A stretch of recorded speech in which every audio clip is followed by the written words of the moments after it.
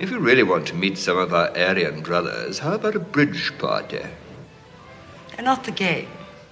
Oh, no, a party to bridge the gulf between East and West. We can produce almost any type you like Hindus, Muslims, Sikhs, even a Parsi. I have something very important to say to you, so you better listen very carefully. Yes. Sir. I am the executor of my sister's estate.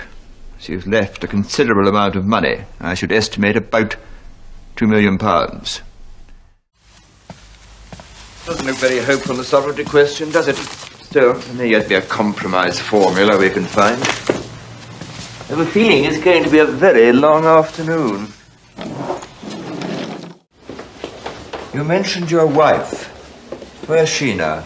The last I heard, she'd taken the kitty to Lyme Regis. Try and team up with them again. Make a fresh start. Don't you worry.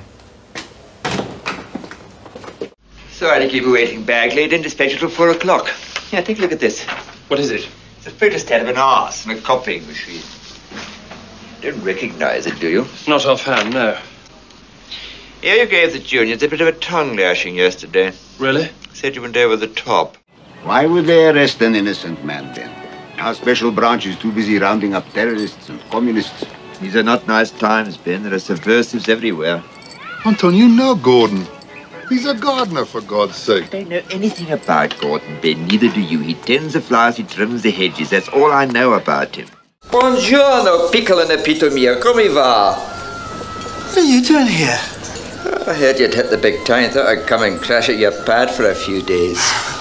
John, this is this is my uncle, Uncle Salvatore. Sal, John Moore.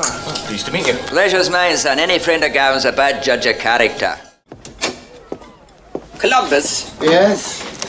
I'm Don Juan Felipe. I've been appointed by the king to look after the ship's books. Oh, the librarian. Well, we haven't got much. How to avoid sea serpents? Madame Fifi's Guide to the Pleasures No, of... Captain, by books I mean accounts.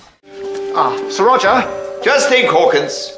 This time next week, these lights will be flashing all across Russia. This room will be alive again.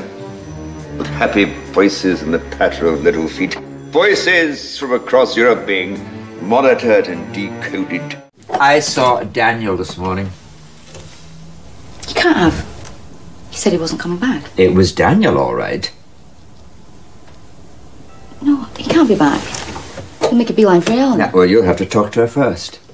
It has to come from you. I know, I know. I just can't. I can't.